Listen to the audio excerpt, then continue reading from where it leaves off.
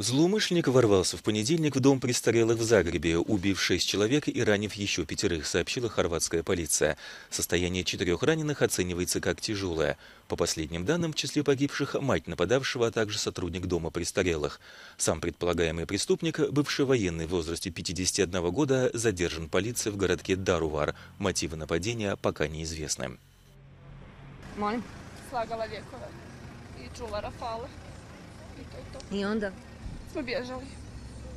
Kako ste se spasili?